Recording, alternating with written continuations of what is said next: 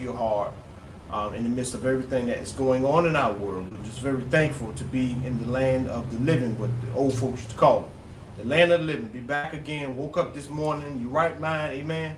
Activity, your limbs. Went about your day and had some struggles here and there, I'm sure. Nevertheless, God kept us to this point in our day. Let's say a word of prayer before we dive in today. Father God, we bless you, we thank you, we love you. It is our pleasure, Father God, to be able to exist one more day and to be existing for your glory. We thank you for your love and your kindness, your tender mercies, your new mercies that we see every day. We thank you, God, for touching the hearts of those that will see this broadcast a little bit later on and for those that are listening now. We know, God, that you are a very present help, and we're thankful for your presence. We bless you for the indwelling, Father. We thank you for Ruach. We thank you for your spirit dwelling in each of us, believers. And God, you said that, Father, you we could be able to do anything. There's nothing that's too hard for us, Father God, in the name of Jesus Christ, because of what you have invested in us. God, we love you. We bless you. We thank you for keeping us safe down the dangerous highways for those that might be driving or listening while they're driving, or perhaps they're riding with someone who's listening. We thank you for getting people safe to their destinations. In the name of Jesus Christ, different shifts that we're working. We love you, God, and we just thank you for giving us a heart, giving somebody out there heart to want to have a listening ear. We bless your name forever because you are worthy to be praised. And we're thankful for all that you are and for all of who you are. We bless your name forever. In Jesus' name we pray. Amen. Welcome once again to Berean Light Ministries. Um, here in Emporia, Virginia, where our um, I have the pleasure of being and serving as the pastor here at Berean Light Ministries. Uh, my name is Andrew Allen. Many of you may know me in these areas, very small areas. Most, most of us know each other. Um, we're thankful as well for Elder Allen and for Apostle Allen, the founders of Berean Light Ministries, and all of the fivefold ministry. Um, very important group of people in any local fold um, has uh, timeless and just has an insurmountable amount of worth when it comes to the body of Christ and when it comes to us doing the work of the ministry, and doing the work that God has for called us to be able to do uh, through the Great Commission. And we're very thankful for Fivefold Ministry and all of the elders all over the world, wherever you may be, wherever, whatever denomination or whatever church or local fold or, or, or, or temple or synagogue, wherever you may find yourself convening and assembling with your brothers and sisters we are very thankful for you. I am very thankful for you. Um, I have to say much love and thanks to those of you that are continuing to persevere through these days and through these hours, and you have not in any way relinquished or relented from your call. And we're very thankful for you uh, showing that strength and that joy of the Lord in the midst of uh, some very trying times that we are going through and will continue to go through in some ways and fashions and form. But nevertheless, we know that God is here for us. He is our help. He's our shield. He is our buckler. He is our strong tower. It is Him that we run in and we find safety. Hallelujah. So very thankful for all of you on today. Um, we want to take some time and we're going to discuss the uh, topic that you see there in front of you. No place for replacement theology. No place for replacement theology. Uh, and um, the scripture for today, we're going to look at, uh, let's go to, we're going to go to Romans chapter 11 today. Romans chapter 11. And we're going to reference, as we did on Sunday, First Corinthians uh, chapter 1. Uh, again, no place for replacement theology. I am, again, uh, very thankful for all of you who are listening and all of you who are taking to heart God's word. Because I mean, you know, anytime we hear the word of God, we are supposed to listen. And that word here, we know is in the Hebrew is Shema. So we not only are in a place where we can receive the audible sound of a person's voice, but there's the implication of something being done because we hear. So when we hear, we do. Uh, and those two words of hearing and doing are synonymous uh, in our biblical culture, in our biblical history, and our biblical Hebrew history. Uh, whereas in maybe in, in, in our country, in, in today contemporary time, um, the, the words hear and do are two different things. If you ever heard somebody say, "Do you hear me?" and you say, "Yeah, I'm listening," But they asked you, did you hear him? Because you didn't do what they asked you to do. And you said, I'm listening, which means you heard it, but you didn't take action. Amen. So um, in, in, in, the Hebrew language, that word Shema means to hear, and I because I hear, I do. So I'm very thankful for those of you that are still hearing, and by implication, you are doing. Amen. We're very thankful for that, and we're blessed um, to have you taking care of that for us uh, as a body of Christ. Um, we, we want to, in a moment, flip to Romans chapter 11. And we want to be able to discuss just a little for a little while and keep my eye on the time. Um, and if you're watching this video later, we're very thankful for you in joining us. Um, and we pray that you have a local church body or a fold or a assembly to which you can find refuge, in, in which you can use, uh, it can be utilized to, for your training, for your edifying, for teaching you the spiritual gifts that God may put inside of you and teach you how to exercise those things. Uh, and I think most importantly, having a place where you as a believer or someone who's being drawn to God, perhaps you're not a believer yet, but you're being, you feel, you feel that tug, you feel that pull, and you're being drawn to the Most High Yah. Uh, perhaps you too, even, uh, I, am prayerful that you have a place where you will go and you can kind of just kind of uh, discuss the word and hear the word and learn of God's word with your like-minded believers.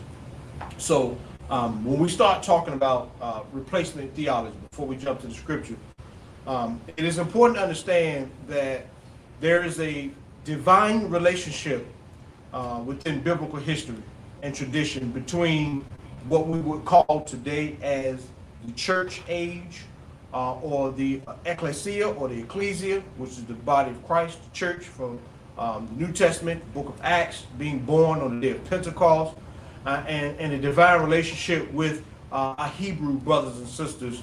Uh, um, when we talk about the Old Testament, we talk about some of the influential brothers and sisters who, like the Apostle Paul and the apostles, who stood on the Torah, who stood on what we know today as Old Testament doctrine.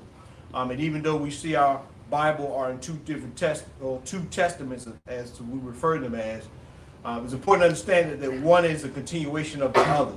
That the Torah, the Old Testament, or uh, um, the, the Old Covenant is a, a, foundation for the Brit Hadashah or for the New Testament. There is no separation. While in our Bibles we may have chapters, we might have, but there is no division as far as the inspired Word of God goes. And I say all that to understand for us to, to help us understand that when we're dealing with scripture, um, when we're dealing with uh, biblical history, when we're dealing with church history and Jewish and Hebrew customs and history that are designed and were propelled and put in place by God, these things are timeless. Somebody say timeless. Timeless. These things are timeless. They don't have an expiration date. They are not neo or they are not new uh, in, in, their nature. Uh, these ideas are very ancient, old, and test timed and proved. And so when we're talking about scripture, while we know that the the the, the testaments that we have, uh, a lot of them we talk about King James, we talk about 1600s, but remember what was being translated was written thousands of years and hundreds of years before it was put on paper in the form of King James version. So a lot of times when we're looking at scripture, we just need a, a constant reminder that what you're looking at is the inspired word of God. Many men and women died and were tortured and, and really worked uh, diligently under the power of the Most High God to ensure that what we have here today in the form of a Bible uh, would make it to us today. Amen? Amen. So I, I want us to make sure that we anchor that this is just not a novel. It is not another book. It is not just something we read, and perhaps you can pick it up and read it on your free time uh, for pleasure. But please understand, it is the bread of life. Hallelujah. It is the instruction for God's people throughout all of time and eternity. When God gave it to us at the very beginning of time, it, it, it never lost its power. It never lost its effectiveness. Hallelujah. And, and here today, we're sitting here in 2022, and we're still standing on the shoulders of our Hebrew brothers and sisters, our biblical brothers and sisters, Moses and all of the prophets and all the people that we read about. These were real people that walked the face of the earth, that died and bled and suffered and prayed and, uh, and, and were able to speak life into kings and were able to prophesy uh, things to happen in kingdoms and civilizations. And here we are today having that grasp of all of that powerful word in, in the palm of our hands. So we're thankful for that. Now, back to, to replacement theology. Excuse me. Replacement theology is the idea that the uh, ecclesia uh, or the church or the New Testament church has replaced Israel. Um, and this this is still a very new idea that came about um, when, when, you hear. Uh, sometimes we will take uh, Hebrew scriptures uh, and we were will teach them as if they were talking specifically to us, and then we're not talking to someone else first. Amen. Um, you hear that a lot when people want to push Israel aside or they want to push the history of the Bible aside. You might hear people say things like, well, that, that was for then, and that's old, that's out of date. This is for now. We're living in a more contemporary time, and so forth and so on. And, you know, uh, I am the seed of Abraham, which Paul staunchly talked against um, because the promises were to the seed. And Paul made it very clear that he did not say seeds, but seed, plural. And by that, for all of us that are the believers, we fall into Galatians, that we become heirs of the promise of salvation not the promises of Abraham and Abraham, what God did for Abraham, but the promises of salvation. And by our faith, perhaps we will experience some powerful moves in our lives and we may be able to obtain things in the way that Abraham did. But a good example of replacement theology is what we talk about uh, when we talk about hyper grace. Um, you know, everything's about grace. I can live it anywhere, anywhere I want to because it's about grace. Or when we talk about hyper faith, you know, faith sometimes we remove salvation from faith and it's all about faith to get a house or faith to get that faith, those things are true, but that that's not the root and grounding and the origin of dealing with faith in Scripture. It was not about what you could obtain. It was more so about who you should come in relationship with. And that promise of extension of the Old Testament to the New, salvation was kind of carried and brought to us through time, uh, through the manifestation of Yeshua HaMashiach. So that, in, that, and first and foremost, is the greatest promise we can have. Yes, um, God will put us in positions and He will uh, add the blessings to our lives uh, because of uh, our obedience to his word and to him, and we'll be able to acquire things. But those are just some quick examples of how replacement theology can show up today. Um, and we'll start talking more so about, you know, prosperity, uh, and, and it'll be out of context, and, and, it'll be more about what we can obtain, what we can do, and God wants you to have this, and God wants you to have that. Uh, but if we're not careful, we'll leave Israel out, because a lot of scriptures that we're reading about for ourselves were written to them first.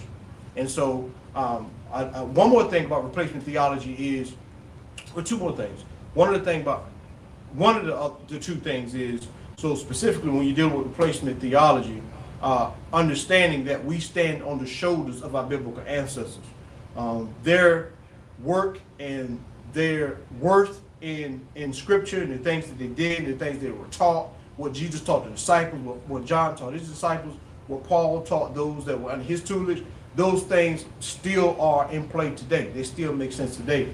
Um, and I think the last thing I will mention about re replacement theology is is kind of where we want to go tonight.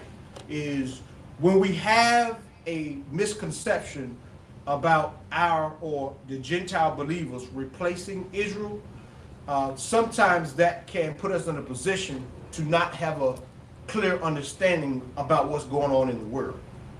When you think about reading scripture, Scripture is talking about things that happen, things that are happening, and things that will happen, right? Especially when you're dealing with prophecy.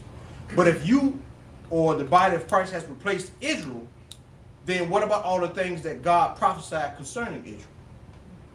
Do those things just go away? No. That that means we, the Gentile church specifically, has not replaced Israel. All right. There still is a place for Israel. There still is a place for the Hebrew brothers and sisters. Remember Jesus Christ said in Matthew that he was first called to what? The lost tribe of Israel. So even he himself was called to them first. And he said he came later on, he said, I came to my own and what? They did not receive him. He was not received. But they still were not chucked away. They still were not, hope was not taken away from them. They still were not left out in the cold. They just opened the door, according to prophecy, the door was opened because of their ignorance or their lack of uh, or their lack of belief, um, they, they open the door for Gentile believers to be able to come in relationship with Christ. And when we read first, uh, actually when we read Hebrews 11, that's going to help explain a lot of that. Amen. So I wanted to walk through that just a little bit so we can have an understanding of, of where we are today. And that last point of when we stand on replacement theology, it really causes confusion as to what we ought to believe today. And that's what we want to focus on uh, tonight. Okay. So let's flip to Hebrews chapter 11. Let's flip to Hebrews chapter 11. And while you're flipping there, uh, when we talk about social issues that are happening today, one who has the mentality that Israel has been replaced will also replace Israel and Scripture in their mindset or in their thought process. For instance, today there's a lot there's a lot of talk, honestly, and we, we all see it on the news. There, there are lots of talk about capital punishment. Now, if I am a religious Gentile believer of the 21st century, and I do not understand the role of Old Testament scripture or scripture from the Old Covenant, or the role of the Hebrew and the Jewish faith and what Revelation says will come to be, what will happen is when it comes to uh, a topic like capital punishment, I won't go back to what God has said about capital punishment because I don't believe those things are relevant anymore. Amen. So now I'm taking what I believe about, or what the, I'm saying I, but let's say the Gentile church or the, the, the new covenant believers. Well, for those that believe in the Messiah, I'm trying to be careful with my, with my language. For those that believe in the Messiah, it will be easy for you to say, okay, so what they talked about about capital punishment Old Testament is now irrelevant because that was talking to the Israelites, right? And that's sometimes where we fall short. All right. Another topic that's being talked about today, that's there's a lot going on. You see it on the news, is abortion. If you're operating from a place of uh, replacement theology, you won't even stop and say, "What does Torah say about abortion?" What does Scripture? Because you'll say, "Hey, we're the New Testament church, and we've come along to change things. And so everything that God has said to Israel is obsolete because that didn't go for us because we're the church. You see how that that that that thinking can, can cause misconception. Another thing is when we talk about marriage, okay? If you believe you are the New Testament church and all of the old covenant is not uh, is not relevant to you, or what God has said about uh, marriage in the Old Testament or even in the New Testament, first century, is not relevant. You'll say, well, oh, we've come along a little bit later and we are the church, or we're living in the church age, or we're living in a dispensation of grace. They go hyper grace. Hyper grace, like so. So because we're living in a dispensation, a dispensation of grace, then it don't matter what I believe about these topics because we're the church. I want to remind us that if that's our thinking, we are in error we are in error. Okay, and we'll talk about a little bit why in just a moment when we read through the scripture.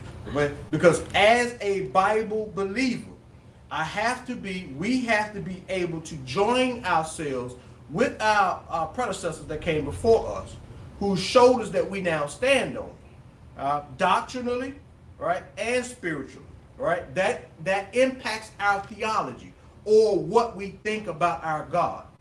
Amen. I say that for many reasons. As we going to jump in the scripture in just a second, I want to give us a clear overview and front load where we're going and what we're talking about and how replacement theology, if that's our thinking, is going to impact what we think about social issues today. It's going to impact what you think about your life, right? There, I can live the kind of way I want and I'll still be saved. That that has a lot to do with replacement theology too, right? I, God didn't require anything of my lifestyle. Well, is that what Scripture says? No, that's not what Scripture says. Scripture says that He is very, He He cares very much about how we live our lives, right? But if I'm thinking about, oh, I'm the New Testament church, and those things don't apply to me, then I'm going to live a life in error because I'm thinking that I am opposite or separated from what Scripture says. Amen. That makes sense to everybody. Yeah. Okay. All right. So as we go to uh, the scriptures today, I just want us to take a look at some dates really quick, so to kind of to kind of help prove my point tonight of replacement theology, and then we'll dive into the scripture. I want us to take our time because I know a lot of brothers and sisters that got answers that, that, that want answers. There are a lot of people out there who um, who have questions, especially now we've been bombarded with news and news and media and media, and everybody has something to say. And my, my heart, so, so I just, I want, we want people to know, as a Bible believer, we, we should care about what Scripture says, mm-hmm. right? Because it is the infallible Word of God. And in the same way that when someone preaches about a prosperity scripture or scripture about you coming out and about you, we should feel the same way about when God says, don't do this or don't do that. We should also be joyous about that. So if we, so it, it puts in a situation to say, are we truly Bible believers? Or are we after God for what we think he will do for us? And that's that's a serious dilemma that we, we need to tackle because um, souls are too important. Your minds and your hearts and, and what's going on today in, in, time is just too important for us to try to sweep these type of things under the rug. Amen. Um, for instance, you know, I get messages and people talk to me, and my concern is that there's some very prominent people who um, who are pastors and who are, are very, you know, well known who are putting things on social media that's not biblical. And that's really concerning.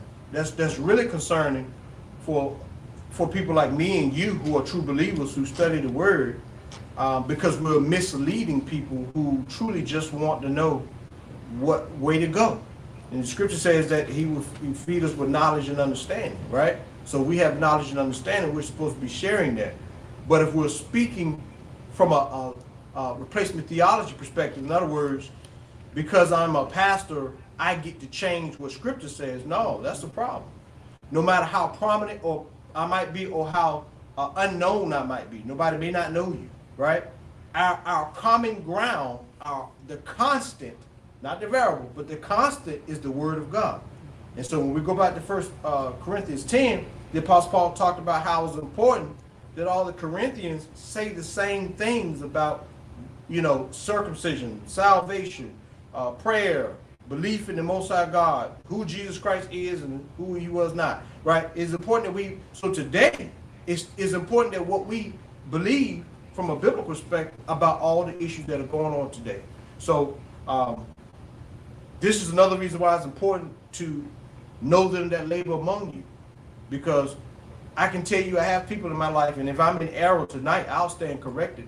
And somebody somebody will correct me, and I'll come back on the next time we're together, and I'll correct whatever it is uh, doctrinally that maybe I misstated or misquoted or whatever the situation may be. I think more importantly, not a slight of the tongue, but more important when doctrine is taught incorrectly uh, and is done so procedurally and to a point where people are taught errors.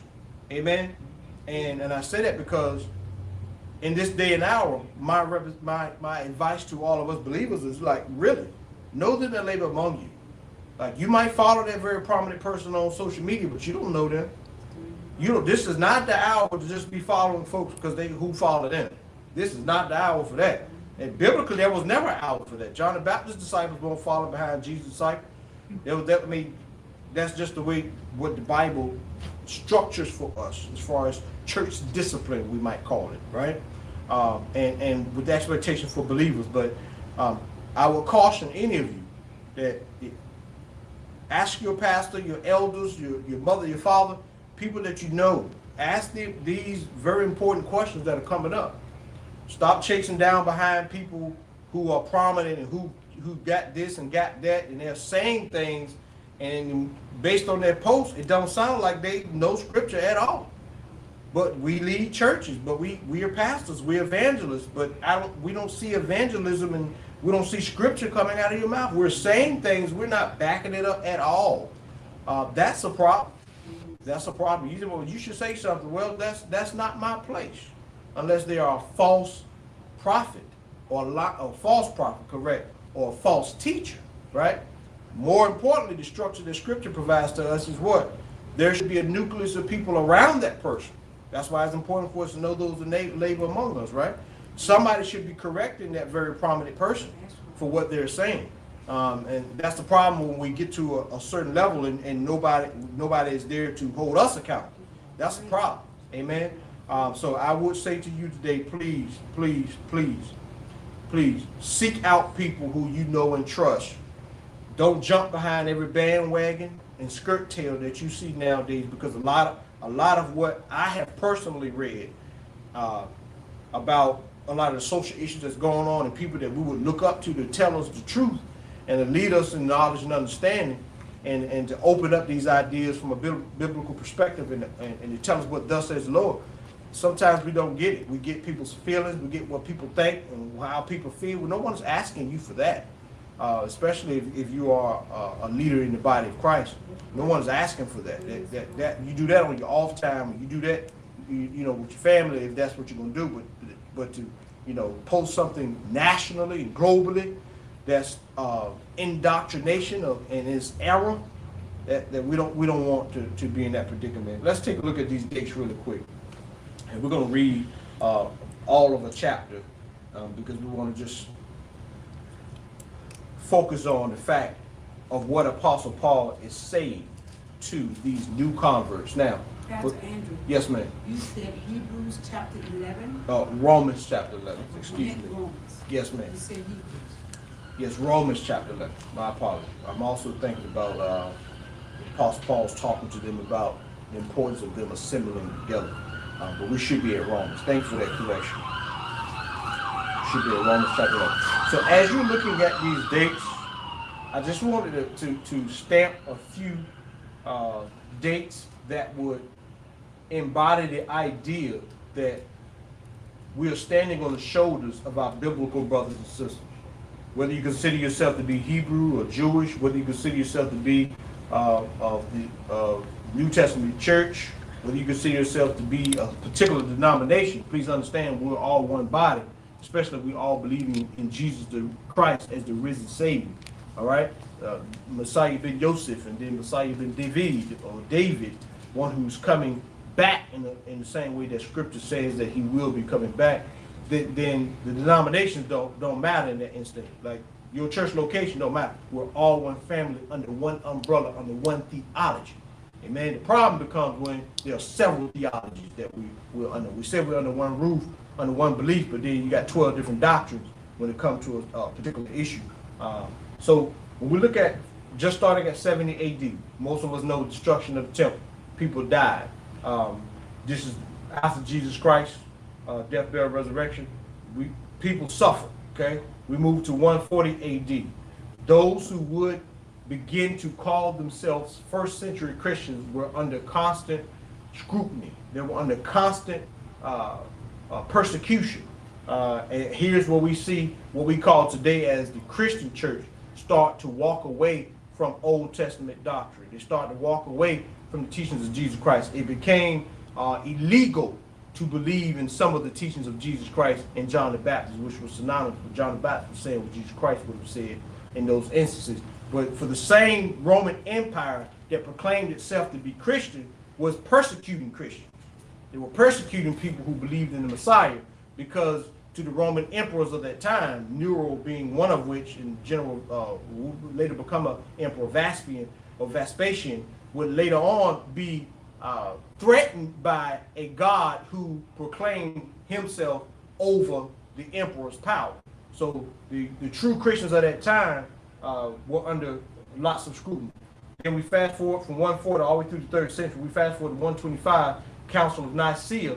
Uh, Jewish practices 325 AD. All right, Jew, Jewish practices were outlawed at the Council of Nicaea. This is one of the many councils that were held by those in Roman power. Some of them were church fathers put in place by the Roman Empire. Uh, but some of the things and the practices that Jesus had taught them to do, these things became outlawed. And now, again, we're saying this because we need to be able to tell ourselves at what point can we separate ourselves from the Old Testament church? We can't. We shouldn't. We, we shouldn't want to. So this idea of uh, uh, replacement theology and this idea that you know we're disconnected from our first century predecessors or we're disconnected from the Hebrews and the Jews of the Old Testament, the, that that's a fallacy. That that's not uh, good doctrine at all. 339 became a criminal offense to convert to Judaism or to convert to the ways of the teachings of Christ. All right. In 380 AD, uh, Jewish practice. Look, see how far we're getting away from truth? See how far we're slowly moving away?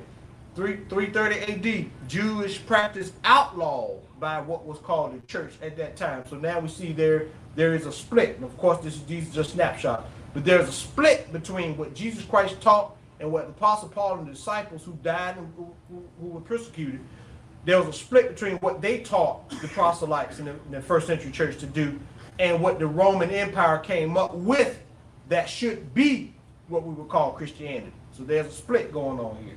And this split will continue for centuries to come. Let's fast forward to 1144.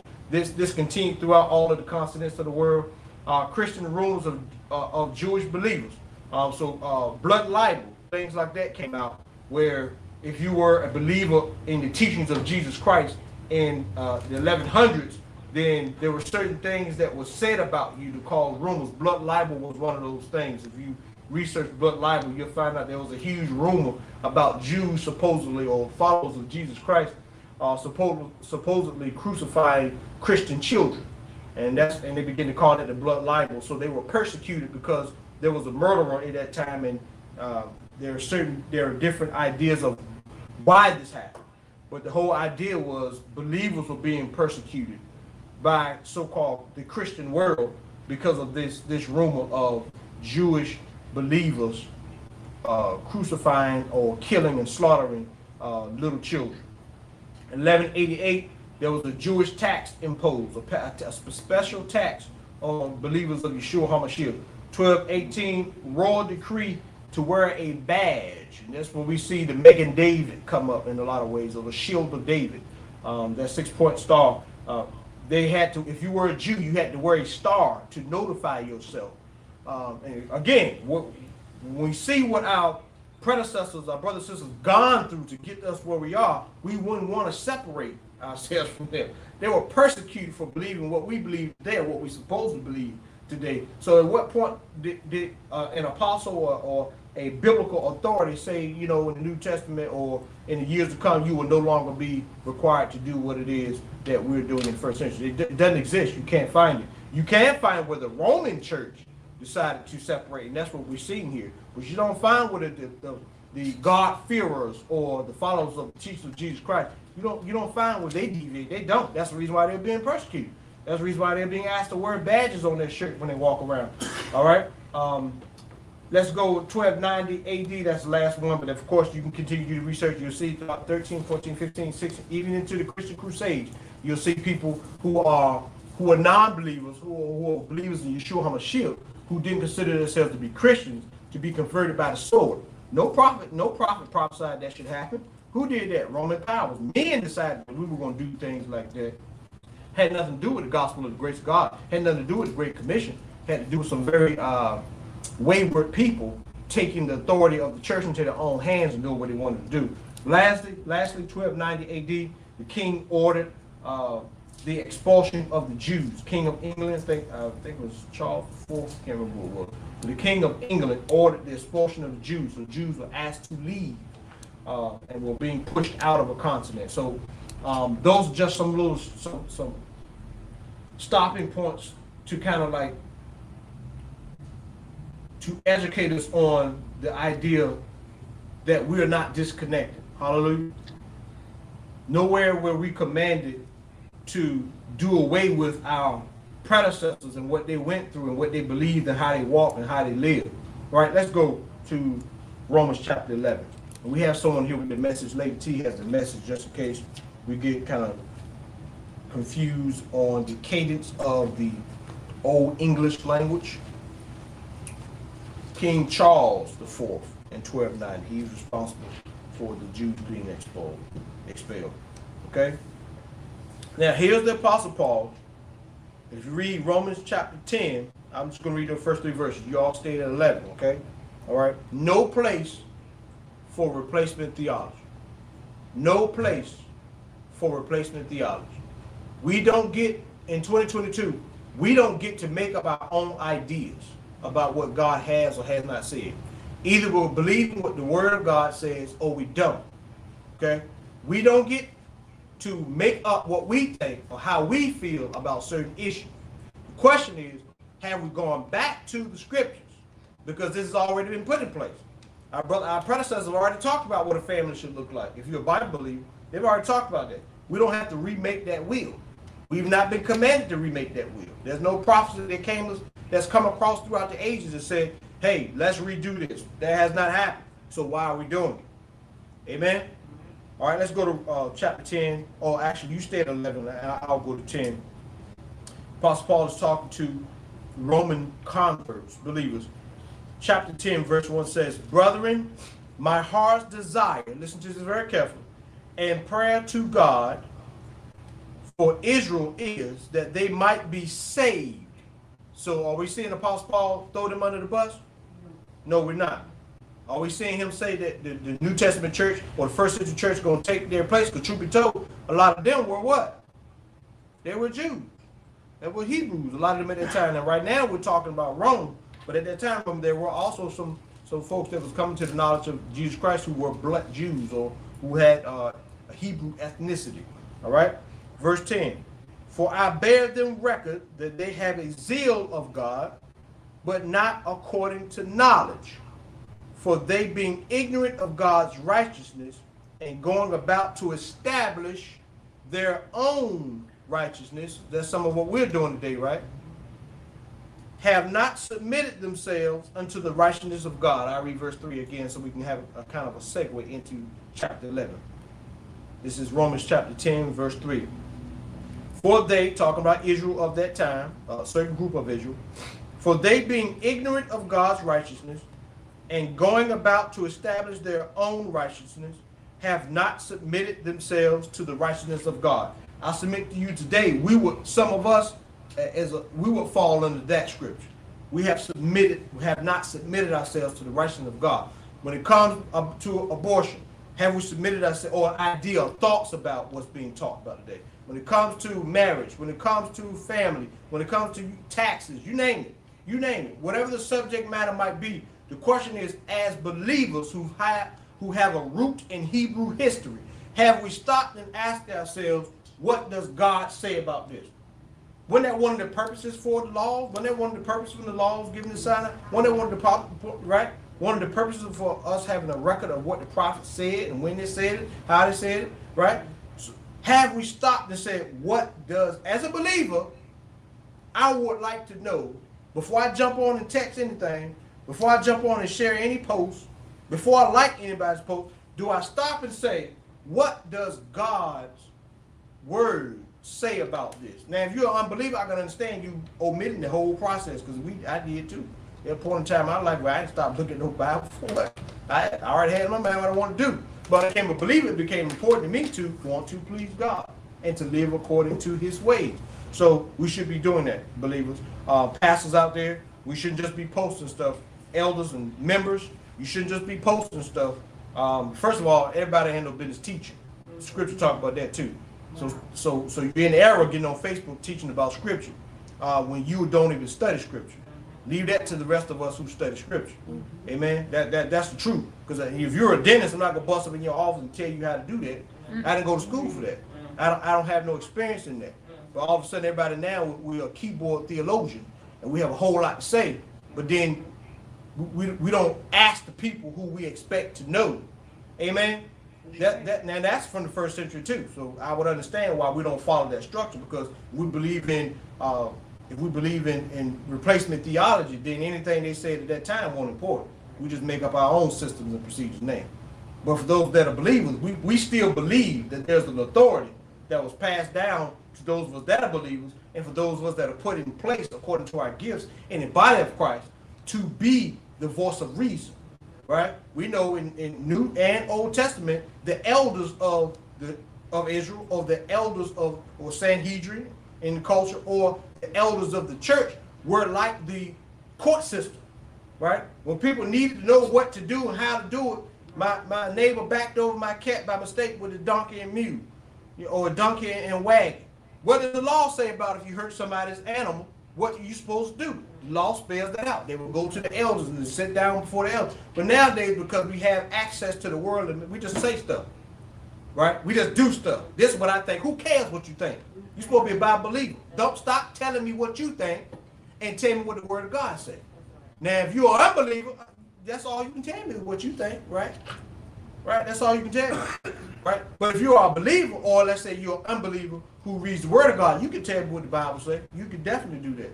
But if you're an unbeliever who does not care about scripture, which is what we hear a lot about today, right? Then you can't tell me anything when it comes to scripture. Just like I can't tell you nothing when it comes to your beliefs. Amen. All right. Let's go to uh, Romans chapter 11. Basketball stars are not your pastors. They're not your elders. R&B stars are not your elders. They're not people you get biblical advice from. They don't know. Some of them don't know what they're talking about. Some of them are not devout. Notice I said some. There are some that are. Right? Stop listening to these people that you watch for fun. These people, some of these people entertain us. It's not their job to teach you theology. So why are we listening to them? And then you walk right past the people that you know and you see, and you won't ask them nothing. But you go preach a whole sermon in error as a keyboard theologian. We better stop playing with God and stop playing with his stuff. Because he ain't playing with us. mercy. Yes, Lord. Leading people to error, leading people the wrong direction. Because we're anxious to be heard. Scripture says you should sit in silence. Scripture says there's some people who, who don't need to teach. They themselves need to be taught. Amen. Let's go to Romans 11. Now, this the Bible believers and for those of y'all that were like us before, you won't call you can call yourself saved, but you won't even mess with that Bible. There's some folks out there now that they're doing a better job than some of us believers in honoring Scripture. Mercy. Come on, man. They might live a, a, di- a different lifestyle, but when it comes to that word, they ain't mess with that. Some of us call ourselves men and women of the cloth. We jacking the word up, making up our own stuff. Romans chapter 11. All right, let's read through Romans chapter 11. All right.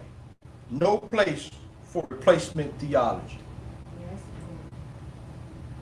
If I say then, have God, I'm sorry, I say then, has God cast away his people? In this context, who is his people? Israel. God forbid. With me, lady T? Mm-hmm. For I also am an Israelite of the seed of Abraham, of the tribe of Benjamin. God hath not cast away his people, which he foreknew. What ye not what the scriptures say of Elias, how he maketh intercession to God against Israel, saying, verse 3, Lord, they have killed thy prophets, and dig down thy altars, and am left alone, and seek my life. And they seek my life. Verse 4, But what saith the answer of God unto him? Talking about Elijah, right? I have reserved to myself 7,000 men who have not bowed the knee to the image of Baal. Verse 5 Even so, then, at this present time, also there is a remnant. Somebody say remnant. According to the election of grace. Verse 6 And if by grace, then is it no more of works. Otherwise, grace is no more grace. But if it be of works, then it is no more grace. Otherwise, work is no more work. Read that for us in the, in the message, verse 6.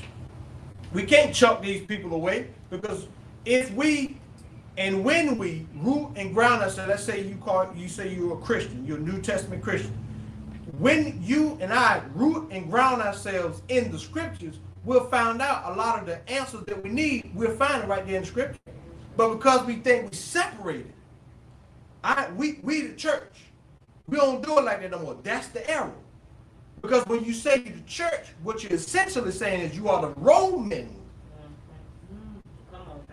You are the age of Catholic Christianity church and not the church that Jesus Christ put in place. No disrespect to my, my, my, my Catholic brothers and sisters. But when we look at history, because we have not stopped or no one has not told us and we're just running headstrong a thousand miles an hour, you have to stop and say, you know what? What I believe is more closely resembled to what the reformers were staunchly against, to what Paul was staunchly against, which is the Roman Christianity. The same thing, the same folks, the same systems that were persecuting the followers of Christ. I find myself on that avenue and I need to jump off that path because I didn't know I was on that path. Now I know I need to get back on Yeshua's path. Now the answers that I was ignoring, I'm gonna pay attention to That's right. I know that. because I'm rooted and grounded in what Yeshua had to say, what the prophets had to say, right? Not just what the third century church had to say, or the fourth century, or fifth, or sixth. Amen. Not, not just based on the age of Catholic Christianity, but based on what Yeshua himself said out of his mouth in the gospel. Based on what the Apostle Paul himself is saying right now. We should root ground ourselves in that. Amen. Amen. Go ahead. Verse, uh, read verse, uh, four, four. No, no, no, no.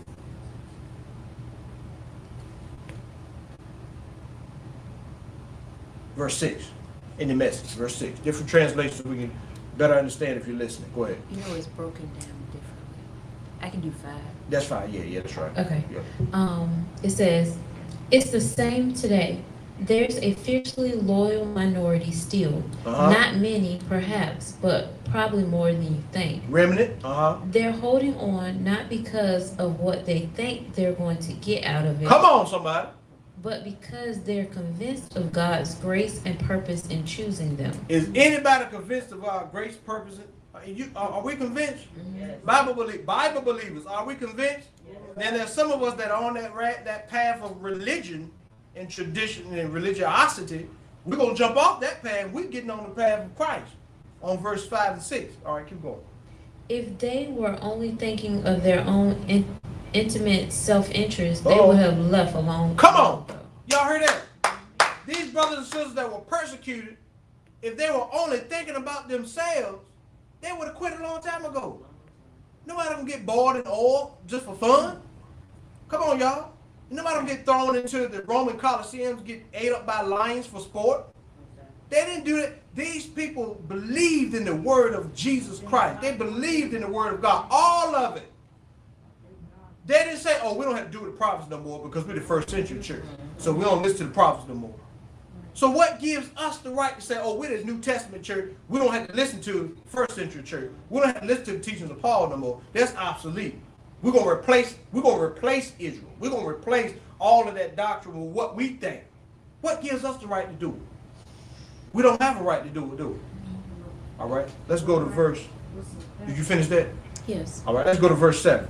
Back to King James. What then? Israel have not obtained that which he seeketh for, but the election have obtained it, and the rest were blinded. That's a prophecy right there. Those that think they will see will not see. Those who think they hear will not hear. Y'all remember Jesus Christ talking about that? And he was mm-hmm. quoting the prophets when he said it. Verse 8 According as it is written, God hath given them the spirit of slumber, mm. eyes that they should not see. Here we go. And ears that they should not hear unto this day. And David said, Let their table be made a snare and a trap and a stumbling block and a recompense to them. The place of importance, right?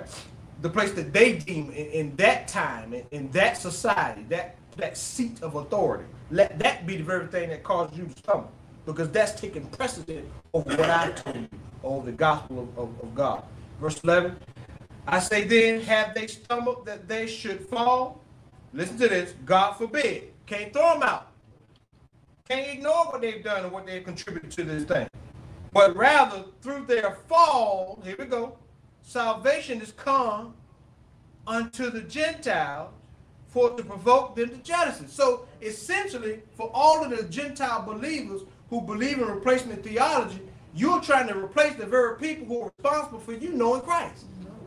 Y'all heard that? Yeah.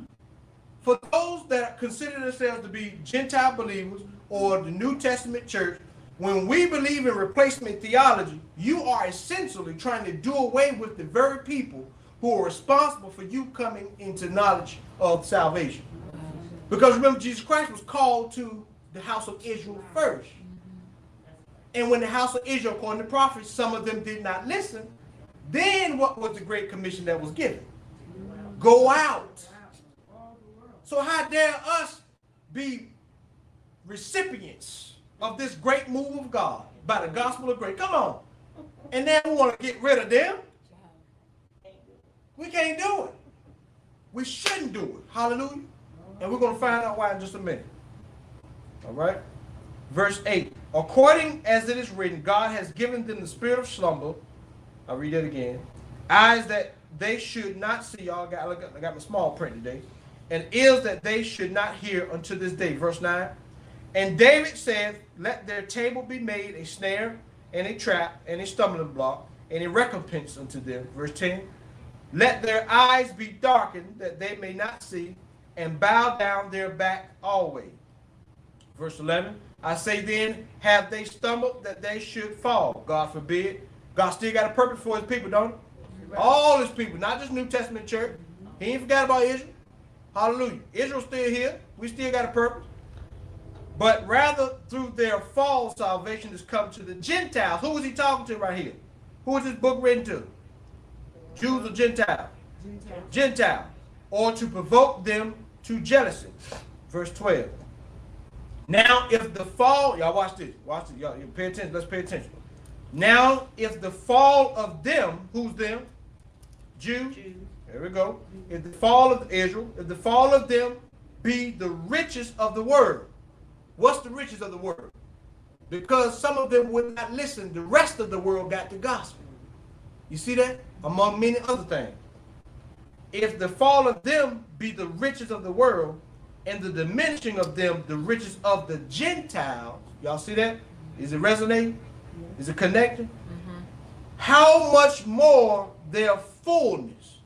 So, just like today, if their ignorance brought the rest of the world to the knowledge of the truth, as they begin to come back to the Elohim, as they begin to come back to the knowledge of the truth, imagine the things that God will be able to do in the world. Y'all see that? Y'all, all right? Verse 13. For I speak to you, who? Gentile. Y'all, ver- y'all with me? Verse 13. Y'all with me? Uh-huh. Yes. For I speak to you Gentiles, inasmuch as I am the apostle of the Gentiles, I magnify my office. If by any means I may provoke, I may provoke to emulation them that are my flesh, and might save some of them.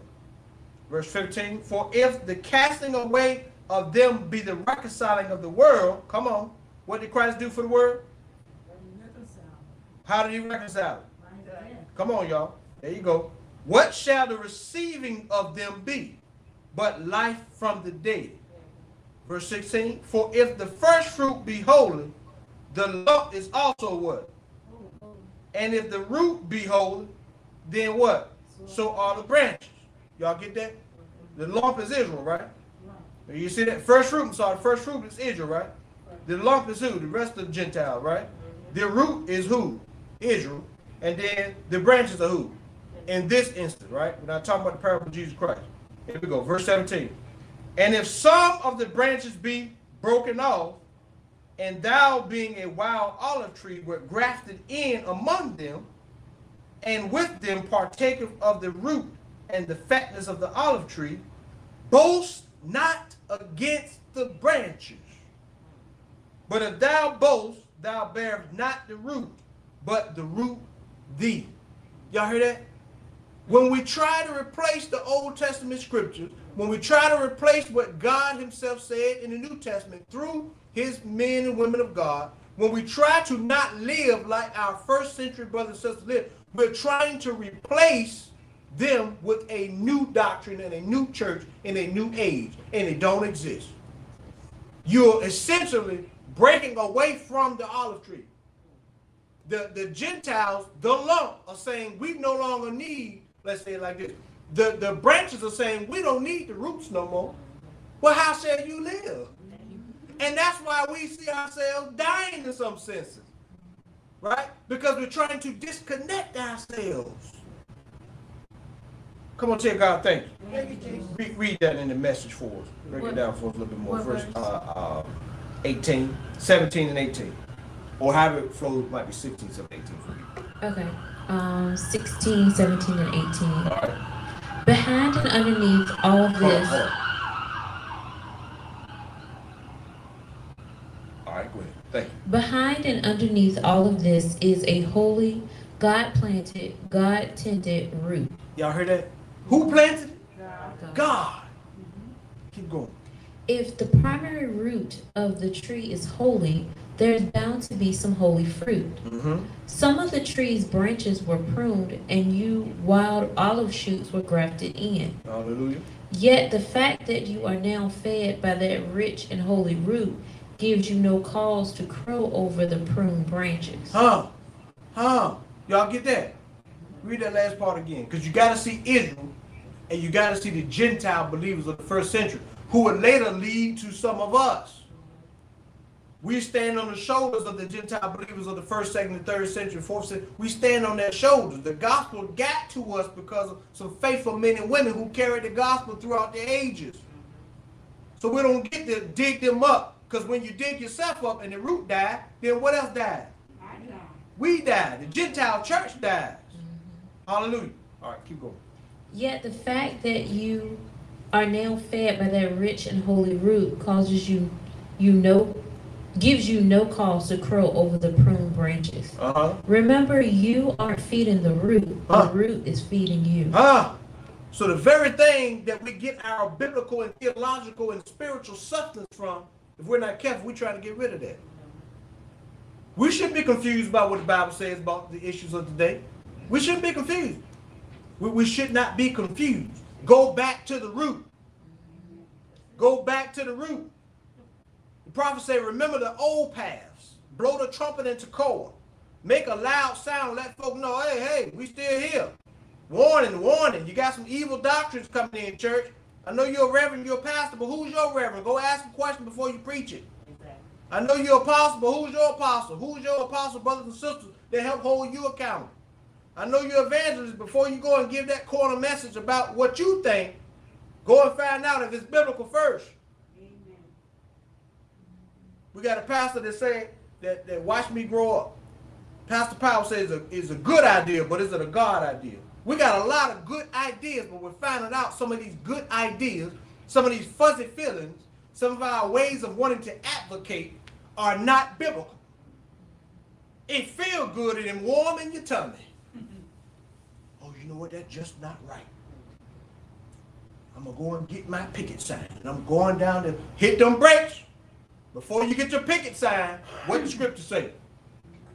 What the scripture say? I'm talking to the believers now. We expect the rest of the world to run with their head like chicken with their head cut off. Anytime something happening all over the place. Some of the stuff that's happening is biblical prophecy. If we weren't trying to operate in, in replacement theology, we would know that it's in there.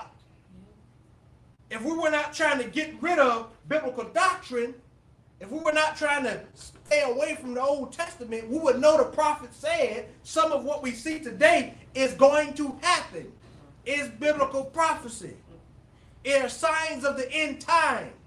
But because sometimes we'll operate in replacement theology, you will never come across those scriptures. Because I got to keep you jumping. I got to keep you sowing dollars. I gotta keep you, I gotta keep, you know, I gotta keep certain things going on. So we ain't going to this book right here. Cause that's gloomy. I'm talking about folk need hope. All of this is hope. Every book in here, every scripture in here is hope to a believer. Now if you're an unbeliever, you're unbeliever, be like me, I stayed away from the joker here. Stayed away from it. But if you're a believer, it is hope to you. It is life. It is nourishment. It is sustenance. We don't want to stay away from this. I'll tell you again, evangelists, pastors, fivefold, stop telling folk what you think unless what you think is in line with the scriptures and you're thinking it because God said it.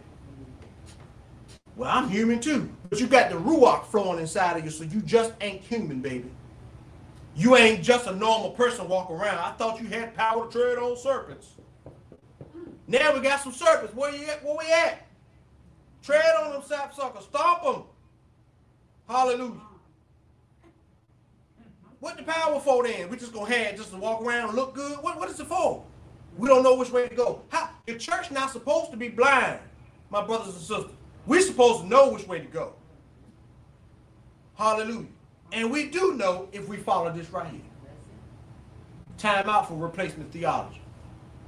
Time out for saying, oh, that was for them at that time. No, it's for you too. Unless you can disconnect yourself from the root, like Paul said. It's for you too.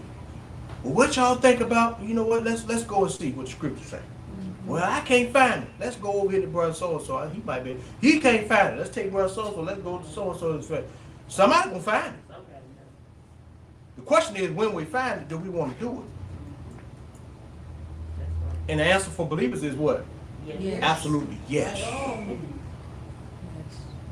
We want to please God in every way, fashion, or form. Amen. We want to please God. We're gonna stop right there tonight at 8:36. For all of y'all that's that's that's Bible believers, that's sold out. All them songs we sung pre-COVID, y'all remember them?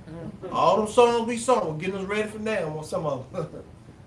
All the songs we sung about, you know, I cross every river, mountain, I do this. You know, I give myself away, can't find nobody. You know, you know all that kind of stuff. Now we got to live it. We should be living it then, but now you know things changed just a little bit for some of us, and we got to live it. Amen. And guess what? I know you God fearers gonna do it because y'all love the word. Amen. Our prayer tonight is that we have been accurate. I have been accurate. Ruach does not miss, does not make mistakes. If there is a mistake or a slight of word, that is me, my my human tongue. Amen. Um, the Ruach does not make mistakes. It calls us to speak accurately. But we, we are thankful for you listening tonight. We're thankful for you to continue coming back because one of the things we hear a lot is, you know, and I mentioned this just a few minutes ago. If you preach on or talk about scriptures like this, even though we know words preaching in season, out of season, we, we preach them. Uh, it's a struggle to do it sometimes, right? But that's what the scrip- scriptures say. Now, well, we need something that's more refreshing. That that's refreshing. Mm-hmm. Show me a scripture that's not refreshing. Even the scripture that says that I will scatter you over the face of this world when you disobey my commandments. That's refreshing. Because he says that if you come back to me, humble yourself and pray and seek my face and turn from your wicked ways, I'll heal. So you ain't healed because you won't turn your face and do the right. So it's, ref- it's still refreshing. Amen. Every scripture from Genesis to Revelation. We just have to change our thinking. We have to change our thinking. Amen. Amen. No place, no place for replacement theology. Regardless of your denomination, my prayer for all of us, including me, is that we will stay rooted and anchored, rooted and grounded in the Word of God. We will stay rooted and grounded in God and His ways. We'll stay rooted and grounded in His Scripture. Yes, people are writing new Bibles that are in error. Yes, people are trying to take scriptures and twist them. That's what they. That's what they're gonna do. Amen. But for you and I, we're gonna seek God's face. We're gonna serve the Lord. We're gonna do our best to divide the scripture. We're gonna meet people face to face, head to head, toe to toe, with love and with care. When they spitting, throwing stuff, and taking the clothes off, whatever it is they do, we're gonna sit there and we're gonna be in love and kindness, or you need to walk away. Don't be that we we should. My advice to my brothers and sisters: let's not be fussing on social media. Let's not be threatening folks and walking off the job. You will tell me that no, let's not go there. Let's ask God to help us with some temperance. Amen. And let's open the door for some dialogue. Because remember, a lot of our brothers and sisters are hurt. There's a lot going on in this world. As scripture says, evil men will wax worse and worse, deceiving and being deceived. It said the love of many will wax cold. That's scripture, right? And we see it happen and have seen it happen. I would say to you is be able to give an answer to those for the hope and call that is within you. Be able to have dialogue. Be able to talk. When God opens the door for us to have a conversation with brothers and sisters, let's be able to do that. Amen. Let's be able to have that conversation. But in order to have the conversation, we got to know what the Bible says. So I, I, I, I want to challenge all of us to be diligent in our meditation. Be diligent in seeking out the scriptures. Seek out the scripture. When there's a social issue that's happening, some there's an uproar, something's going on. Bible believers, we stop and we say what? God, what are you saying to the world? What are you saying to the body of Christ? What are you saying to believers? Because your emotions going on, you know what I, because we all got it, huh? Mm-hmm. All of us got it. We got it. Thank God for Holy Spirit. Man, you better. Well, this is what I think is is just is is, is easy because there's so much contention, and everybody got a lot to say. And everybody trying to advocate for this and that and that and another. Bible believer, again, we stop. We say, hold up, pump the brakes. I know this is hitting home. It might be affecting me. It might be affecting my mother, my father, my sister, whoever.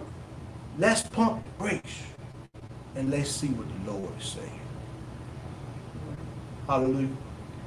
Father God, we bless you for another night together. We thank you for your time, your Holy Spirit, not only being within us, but your presence being around us with us. We thank you for your omniscience. We thank you for your preeminence, that you are a God who cannot lie, that you are a God who cannot be overpowered. You are a God who has an eternal plan for a temporary earth, for a temporary people, Father. We love you and we bless you. We ask that you give us the words to say. That in the wisdom that you've given us, we may win someone to Christ. May open a door to have a conversation. We may be able to lead one to you, Father, in the name of Jesus Christ. We thank you. We ask, God, that you continue to show us the how to let brotherly love abound throughout denominations, throughout all of the body of believers, regardless of geographic location. God, we thank you for the fulfilling of Scripture, of all of us coming together to full knowledge of Jesus, the risen Savior. We thank you for teaching us how to operate in discipline and in order and structure according to your word, that we may be that bride that you will look for upon your return. God, we love you, we bless you, we thank you. Let everybody say amen. We thank you again. Thank you again. Hope you have a wonderful, wonderful remainder of the week. We thank you for your financial contributions. We thank you for your physical contributions. We thank you for your comments. Please, we are open to dialogue. Uh, I'm thankful for all of you who will send an email or who will leave something in the comments that we can revisit. Ask the media team to keep their eyes on that. Open up some dialogue. If we need to open up the building and allow folks to come in who want to know more about scripture and what scripture says about particular issues, um, we, we are open, definitely open for that. It's so easy to walk away from broadcasts and talk about what you don't agree, with what you agree. Don't say it in silence. Say it in, in the open. Say it in the open. Uh, especially if you really feel like you have a biblical stance to stand on. It in open. And, and this one other thing too that's been on my heart that that uh, I had a situation, and, and this made me think about this. Pastors and evangelists, believers, let's not be out in the open disagreeing with one another. Let us come within and disagree, so that when we go out, we'll be on the same page. We'll be saying the same thing. Pa- pastors, let's not, and evangelists, I keep saying that um, uh, because we set the tone. Y'all don't, chicks- you don't, you don't see me doing it. Why you doing it? You don't see your pastor doing it. Why you doing it? You don't see the elders of your church saying it or doing it. Why you saying it? Right? Why? Why? If you're not, again, this is for believers, right? So let's let's not go out in the street and let everybody see that we disagree on certain things or we we falling out, right? Let's let's come inside, um, according to what Apostle Paul taught, and go and get that one and have a conversation with them. And if that one doesn't want to listen, bring that one in you, and let's come in together to your elders within your local your local church and have a conversation. Let's work that thing out. Let's reason together. Amen. And what scripture said, let us reason together. So very thankful for you. Uh, on that note, uh, we want to say shalom to you, shalom to you, and shalom to you. Please have a wonderful night. We love you. We thank God for it. Shalom.